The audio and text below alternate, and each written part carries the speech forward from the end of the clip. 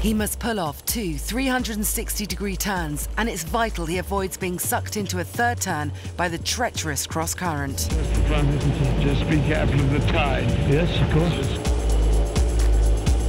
The tide takes him, and Will's knocked off course. Can he avoid being sucked into a dangerous third turn? Will must counter steer at exactly the right moment to get the Arktos back in control. In the zone, he's ready to advance to the final stage. Now in stage two, Kirsten must face her biggest fear and pull off two 360 degree turns. Yesterday, she couldn't do one and she crashed the Arktos. Okay, everyone, I'm going to get us into a position where I'm going to perform or attempt to perform the 720. Can she hold it together and steer the vehicle through two 360s and avoid being caught in the powerful cross current?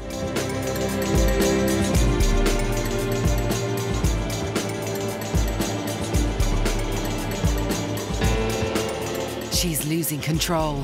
Oh my gosh.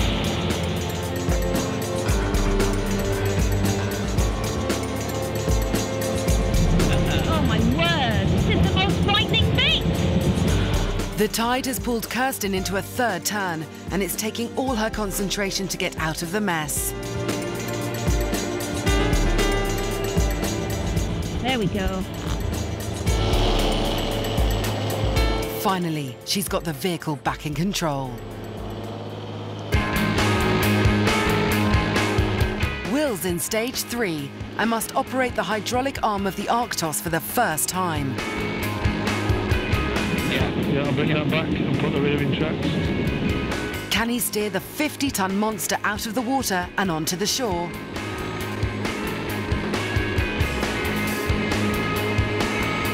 He's pitching the front cab upwards and using the force of the rear engines to push the vehicle onto the shore.